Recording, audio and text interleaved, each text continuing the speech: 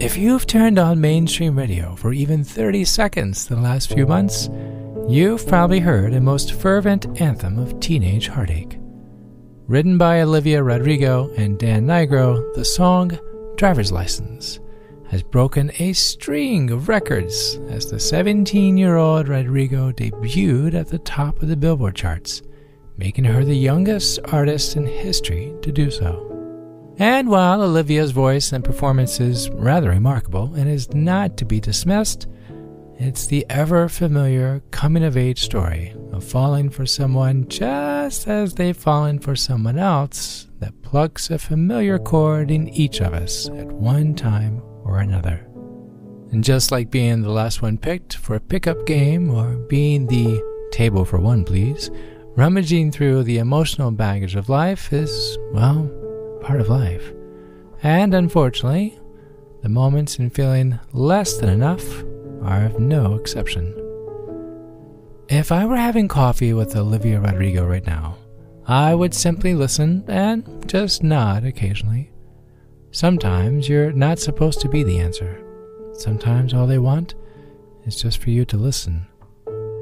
And as the lights in the coffee shop began to turn out and the open sign on the front door is flipped to close, I would slip her a note on our way out as we parted ways. Find yourself, it would say, before finding someone else. Find yourself before finding someone else.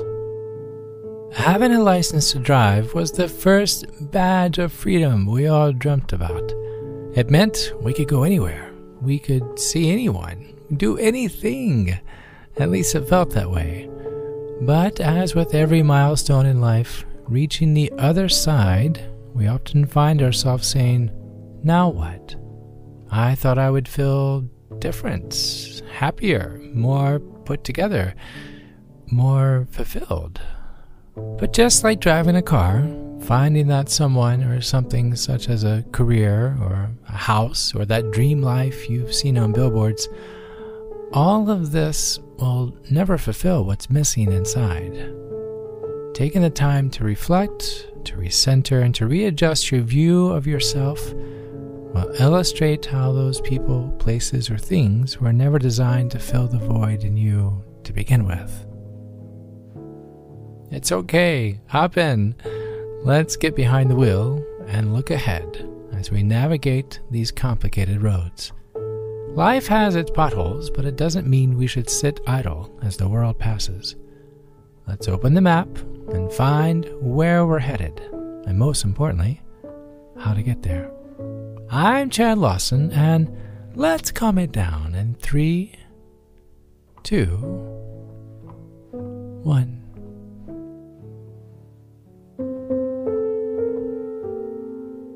Find yourself before finding someone else.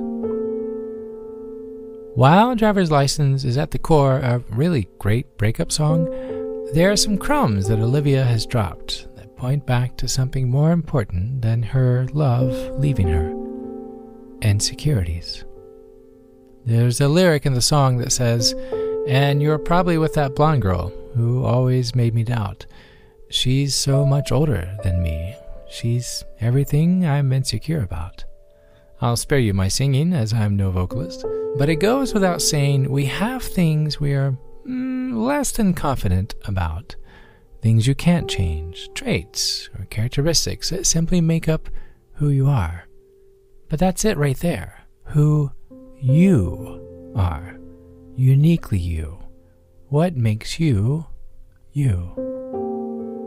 A lot of times it's easier for us to tag the blame on someone else, as if her lyrics were to say, I'm worthless because he wanted the older blonde. If only I were blonde and older, then he'd love me. Then I'd be happy. In a roundabout way, that's much easier for her to say. But we all do this so often, don't we?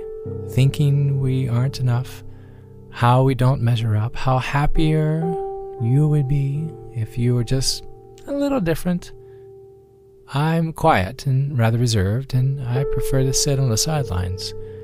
Try as I did for a number of years, being the animated life of every conversation felt, well, to be blunt, fake. It wasn't who I am at heart, not to mention propelling this other me narrative was exhausting. If you're accepted for being what you are not, then are you really accepted? If you're wearing stripes to cover your spots, eventually your stripes will show. So, why not just wear your stripes to begin with? Find the person that embraces the parts of you that you can't. I'm going to say that one more time. Find the person that embraces the parts of you that you can't. So you're not a certain height, a certain physique, or, perhaps a certain personality. Embrace what you think are your shortcomings. Nothing needs to be custom made to tailor the wants of someone else. Trying to mask the parts of you you wish were different just for the acceptance of someone else is a house of cards waiting to collapse. You are you, and that is what makes you beautiful. And when I say person, it doesn't have to be a one on one relationship. This can mean a friend, or even a group of friends, or a community that you're longing to be a part of. Realize what you give, what you bring to others, no one else is able to bring. And sometimes what you bring to others, they may not be in that season of life. But they're not seeing or needing who you are as a person doesn't mean you are of no value. It simply means what you bring is of no value to them. To which I ask, why would you continue to pour into something that doesn't recognize your worth? For some, they may be in a temporary season where soon eh, they'll understand they're just going through something. For others, they have set the course in an entirely different direction, and that's okay because their course is not your course, and your course is not their course.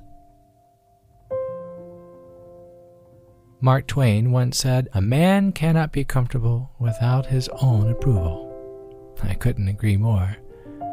Take some time alone and write out what makes you, you. Next to those traits, write out how you love that about yourself. What is yours, truly yours? What speaks to your truest nature?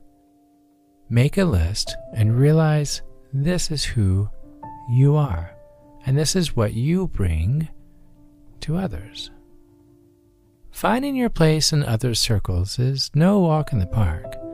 Taking the time to learn about yourself, to learn who you are, and to learn that a person or group of people aren't going to be the key to your happiness. But the more you take the time to understand yourself, to accept yourself, the easier it will become to give of yourself without wondering if you're good enough. And when this happens, you will find what you thought you needed in someone else was inside of you all along.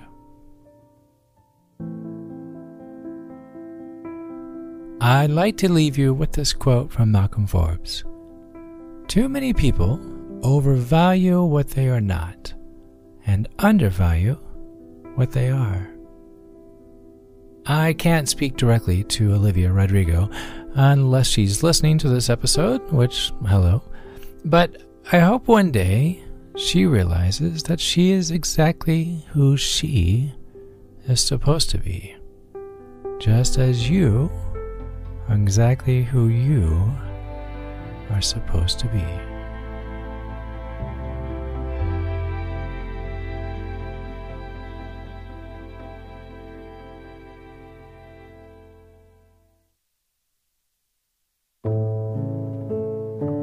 To find more episodes of Calm It Down, hear the musical playlist from today's episode, or simply wanting to know where to send chocolate chip cookies, visit calmitdownpodcast.com. You'll even find additional resources for emotional support, including our online community and our Facebook page. You're not alone. You are not alone. This podcast was written and produced by yours truly, Chad Lawson, composer, pianist, and nationally recognized Sweet Tooth.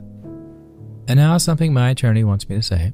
The views, expressions, and techniques in this episode are of my personal opinion and is not intended to, nor should they serve as a substitute for medical advice or diagnosis rendered to you by your individual doctor or other healthcare provider.